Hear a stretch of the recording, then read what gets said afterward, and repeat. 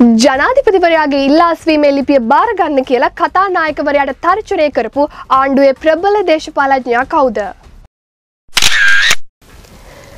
රනිල් වික්‍රමසිංහ ජනාධිපති ධූරයේ වැඩබාර ගැනීමෙන් අනතුරුව පාර්ලිමේන්තුව තුළ එජාපයේ හිස්වන අසුනට මොකද වෙන්නේ?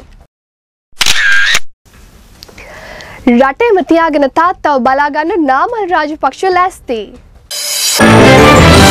කනින් කොනින් ඇසුණු කතා කනින් කොනින් ඇසුණු කතා ගෝටාබේ රාජපක්ෂ ජනාධිපතිවරයා තමන්ගේ ඉල්ලාස්වීමේ ලිපිය කතානායකවරයට යොමු කළ තිබුණේ ඊමේල් පණිවිඩයක් හරහා. මේකෙදි කතානායකවරයා කියලා තියෙනවා මේ පිළිබඳව නීත්‍යානුකූල වඩාත් සැලකිලිමත් වෙන්න ඕනි කියලා. මොකද මේක ඊමේල් පණිවිඩයක් නිසා. මේ වෙලාවේ ආණ්ඩුවේ ඉන්න ප්‍රබල දේශපාලඥයෙක් කතානායකවරයාට කියලා තියෙනවා වැඩිය නටන්න හදන්න එපා කියවන්න හදන්න එපා මේක තමයි ඇත්ත ලියුම.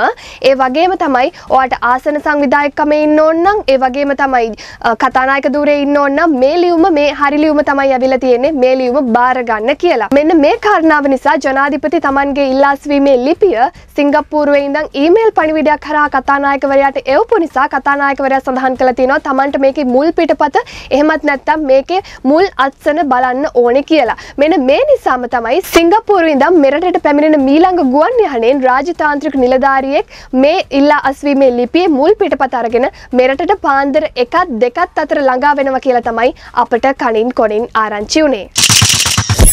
කොහොමුණත් ජනාධිපතිවරයාගේ මේ ඉල්ලාස්වීමේ ලිපිය ලැබෙනකං කතානායකවරයාගේ නිවසේ ඊයේ දිනේ බොහෝ දේශපාලඥයෙන් පිරිසක් මග බලාගෙන හිටිය කියලත් අපට කනින් කොනින් ආරංචි වුණා. ගෝටාපේ රාජපක්ෂ ජනාධිපතිවරයාට සහ බැසිල් රාජපක්ෂ හිටපු අමාත්‍යවරයට විදේශගත වෙන්න අවශ්‍ය සියලුම පහසුකම් සලසලා දීලා තියෙන්නේ නාමල් රාජපක්ෂ මන්ත්‍රීවරයා විසින්. ඔහු සඳහන් කළා තියෙනවා මහින්ද රාජපක්ෂ හිටපු අග්‍රාමාත්‍යවරයා මෙරටින් අ, පිටතට යවන්නේ නැහැ විදේශගත කරවන්නේ නැහැ. Tamanගේ තාත්තව මෙරට තියාගෙනම Taman බලා ගන්නවා කියලත් ඔහු සඳහන් කළා දීලා තියෙනවා. ඒ විතරක් නෙමෙයි ගෝටාබේ රාජපක්ෂ ජනාධිපතිවරයාට සහ බැසිල් රාජපක්ෂ හිටපු අමාත්‍යවරයාට විදේශගත වෙන්න අවශ්‍ය ටිකට් එකේ ඉඳන් සියලුම දේවල් නාමල් රාජපක්ෂ මන්ත්‍රීවරයා විසින් සලසලා දීලා තියෙනවා කියලා තමයි අපට කනින් කොනින් ආරංචි වුණේ. ගෝඩාබේ රාජපක්ෂ ජනාධිපතිවරයා සහ එතුමන්ගේ බිරිඳ මේ මොහොතේදී විදේශගත වෙලා තමයි ඉන්නේ. ඉතින් අ, මොවුන් දෙදෙනාට අවශ්‍ය ආරක්ෂක අංශය පැත්තෙන් අවශ්‍ය සියලුම සහයෝගය සහ ආරක්ෂාව වර්තමාන ගුවන් හමුදාපතිවරයා සලසලා දීලා තියෙනවා කියලා තමයි අපට කනින් කොනින් ආරංචි වුණේ. ඒ වගේම වර්තමාන ගුවන් හමුදාපතිවරයා ජනාධිපතිවරයාගේ පෞද්ගලික ආරක්ෂකයෙක් විදිහටත් කටයුතු කරනවා කියලා අපට කනින් කොනින් ආරංචි වුණා. මහින්ද රාජපක්ෂ හිටපු අග්‍රාමාත්‍යවරයාගේ නිවසේ වෙනදා පොහොය පින්කම් පැවැත්වෙනවා වගේම මේ ඇසළ පොහොයටත් පොහොය පින්කම් පැවැත්වෙලා තියෙනවා. ඒ එක් පැවැත්වුණු ධර්මදේශනාවකදී ස්වාමින් වහන්සේ නමක් ප්‍රකාශ කළා තියෙනවා ඔබතුමන් ළඟ කලින් හිටපු පිරිස බලන්න. ඒ කියන්නේ බලය තියෙද්දි හිටපු පිරිස බලන්න. දැන් බලය නැති වුණාම ඉන්න පිරිස ප්‍රමාණය බලන්න. මම හිතනවා ඔබතුමා මේ දෙපිරිස දිහා බලලා හොඳට මේ තියෙන තත්ත්වයේ තේරුම් අරන් ජීවත් වෙයි කියලා උන්වහන්සේ ප්‍රකාශ කළා තියෙනවා කියලා තමයි අපට කනින් කොනින් ආරංචි වුණේ. රනිල් වික්‍රමසිංහ අග්‍රාමාත්‍යවරයා ජනාධිපති ධූරය බාර ගැනීමෙන් අනතුරුව පාර්ලිමේන්තුවේ එක්සත් ජාතික පක්ෂය සඳහා වන ආසනය හිස් වෙනවනේ මෙන්න මේ හිස් වෙන ආසනය සඳහා පක්ෂයේ නියෝජ්‍ය නායක රුවන් විජේවර්ධන සහ වජිර අබේවර්ධන කියන අයගේ නම් යෝජනා වෙලා තියෙනවා කියලා අපිට කනින් කොනින් ආරංචි වුණා. ඒ වගේම තවත් ආරංචියක් තියෙනවා මේ පිළිබඳව. ඒ තමයි මේ අග්‍රාමාත්‍යවරයා ජනාධිපති ධූරය බාර ගැනීමෙන් අනතුරුව මේ හිස් වෙන ආසනය ඒ විදිහට හිස් විදිහටම තියන්නත් බලාපොරොත්තුවක් තියෙනවා අදහසක් තියෙනවා කියලා අපට කනින් කොනින් ආරංචි වෙනවා. ඊයේ පස්වරුවේ ජනාධිපතිවරයා නිල වශයෙන් තමන්ගේ අස්වීම ප්‍රකාශ කරන ලිපිය කතානායකවරයා වෙත ලැබිලා තියෙනවා. නමුත් මේ ලිපිය මාධ්‍යයට නිකුත් කරන ටිකක් ප්‍රමාදුනා. මේකට හේතුව කියලා කතානායකවරයා දන්වලා තියෙන්නේ ඒ විදිහට ඒ ලියුම ලැබුණු විගසම මේ ලිපිය මාධ්‍යයට නිකුත් කරා නම් මේ වෙලාවේ ජනාධිපතිවරයා විදේශ සංචාරයක ගුවන් සංචාරයක නිරතව සිටින නිසා ඔහුට සිදු වෙනවා නැවත වාරයක් හිටපු ජනාධිපතිවරයා ලෙස ගුවන් බලපත්‍රයක් ලබා ගන්න. අන්න ඒ නිසා තමයි මේ ලියුම ටිකක් මාධ්‍යයට ප්‍රමාද කරන්න කියලා අපිට කනින් කොනින් ආරංචි වෙලා තියෙනවා.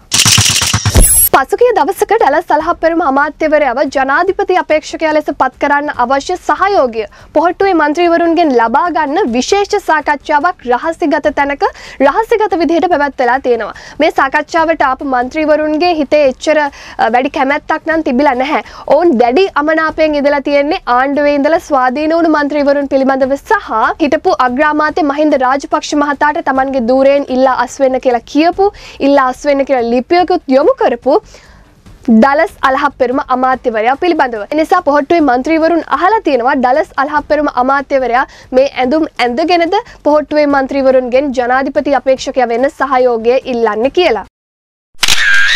ඒවගේම පවුල් දේශපාලනය හැර දේශපාලනයට ඇවිල්ලා ප්‍රාදේශය මට්ටමේ දම් පාර්ලිමේන්තුව දක්ව ඇවිල්ල මේ දවස්වල මේ දිනවල මේ වකවානුව තුළ ප්‍රබල දේශපාලඥයෙන් බවට පත්වලායින දේශපාලඥයෙන් මේ ගමන ඇවිලා තියෙන මහින්ද රාජපක්ෂ හිටපු අග්‍රාමාත්‍යවරයාගේ සහයතුව එනිසා අපි එතුමන්ට පණ වගේ ආදරෙයි කියලත් මන්ත්‍රීවරුන් සඳහන් කරලා තියෙනවා.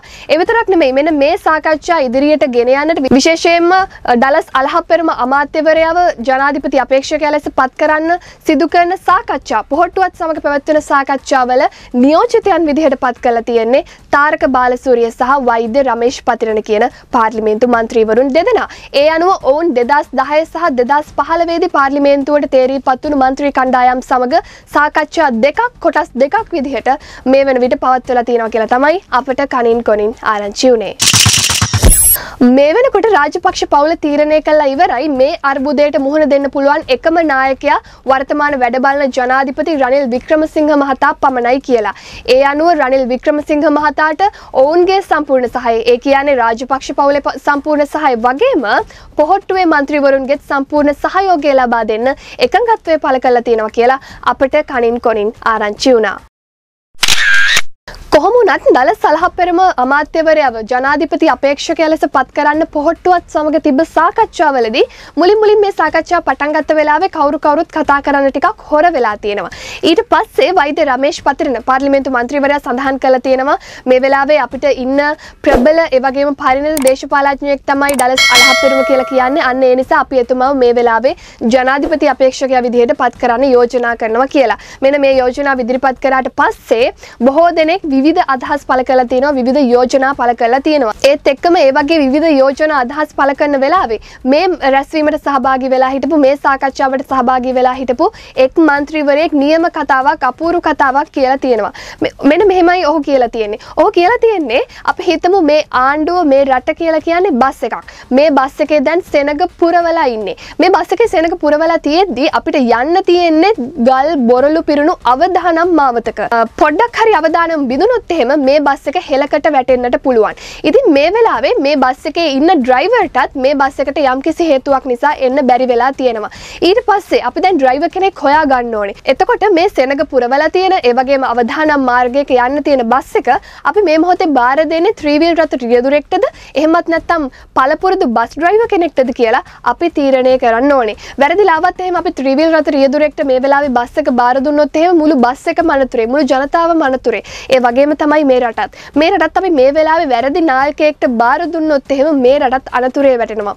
පොහොට්ටුවේ മന്ത്രിවරුනුත් අනතුරේ වැටෙනවා. ඒක විශාල ප්‍රශ්නයක් වෙන්න පුළුවන්. රනිල් වික්‍රමසිංහ කියලා කියන්නේ ඒ වෙලාවේ පක්ෂයේ සිද්ධ වුණු යම්කිසි කාරණාවක් නිසා පැරදුණු කෙනෙක්. නමුත් මේ මොහොතේ අපිට ඉන්න පරිණතම දේශපාලඥයෙක් තමයි රනිල් වික්‍රමසිංහ කියලා කියන්නේ. එදස් නමසි අසු අට එදස් නමසි අසු නමය කියන මේ කැරලිවලටත් එතුමන් ඉතා සාර්ථකව මුහුණ දුන්න.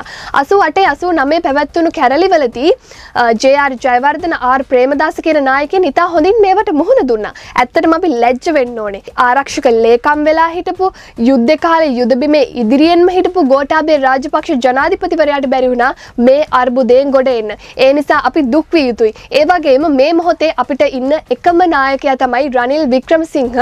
ඒ නිසා අපි එතුමන්ව ජනාධිපති ධූරයට ගෙනීම සඳහා කටයුතු කරන්න ඕනි කියලත් මේ රැස්වීමේදී මේ සාකච්ඡාවේදී අදහස් පළ වෙලා තියෙනවා කියලා අපට කනින් කොනින් ආරංචි වුණා. 진짜 පසුගියදා අරගලකරුවන් විසින් අත්පත් කරගත්ත ජනාධිපති මන්දිරය ජනාධිපති ලේකම් කාර්යාලය අරලිහගහ මන්දිරය අගමති කාර්යාලය මේ ස්ථානවලින් ඉවත් වෙනවා කියලා ඔවුන් දැනුම් දීලා මේ වන විටත් ඒ ස්ථානවලින් ඉවත් වෙලා තියෙනවා.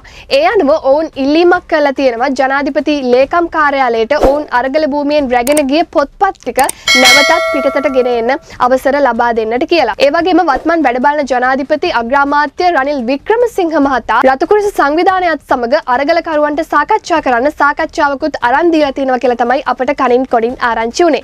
ඒ සාකච්ඡාව ඊයේ උදේ පාන්දර පහෙන් පස්සේ පැවැත්වලා තියෙනවා. ඒ සාකච්ඡාවෙන් පස්සේ තමයි රතුකුරුස සංවිධානයත් සමග ඊයේ පාන්දර පහෙන් පස්සේ පැවැත්වුණු සාකච්ඡාවෙන් අනතුරුව තමයි ඔවුන් තීරණය කළ තියෙන්නේ මේ ස්ථානවලින් ඉවත් වෙනවා කියලා. කොහොම වුණත් වජිර අබේවර්ධන හිටපු අමාත්‍යවරයා තමයි රතුකුරුස්ස සංවිධානයේ සභාපති. ජගත් අබේසිංහ සමග ලගින්ම කටයුතු කරලා අරගලකරුවන්ට මේ සාකච්ඡාව අරන් දීලා තියෙන කියලා තමයි අපට කනින් කොනින් ආරංචි වුණේ. දේශපාලන වේදිකාවේ තිරේ පිටුපස මෙවන් කතා අපි කියන්නම් නැවතත් ලබන සතියේ.